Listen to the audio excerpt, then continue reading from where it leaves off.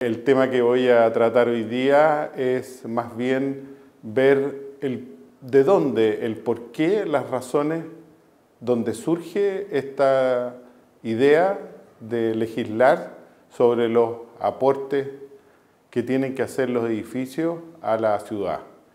Esta ley de aporte, en el fondo, lo que implica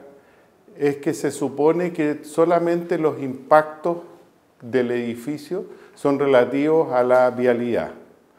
cosa que no es así. Los edificios en general en la ciudad, que todos necesitamos, tienen una influencia en el medio, en el entorno donde está, mucho, mucho más allá de la movilidad. Implica encuentro, implica sostenibilidad, implica simultaneidad, implica que los edificios en general tenemos que aprender a que no están solos. También implica que la comunidad tiene un alto grado de impacto dentro con los edificios, con lo cual estos edificios tienen que transformarse en ayuda, ¿no es cierto?, a resolver las necesidades y los problemas sociales en que se encuentran insertos.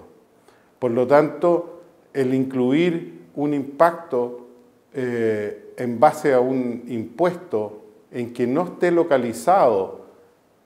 en el entorno inmediato, sino que está localizado fuera del rango donde va a estar nuestro edificio, no va a solucionar los problemas de las inmobiliarias nuestros y menos de los vecinos.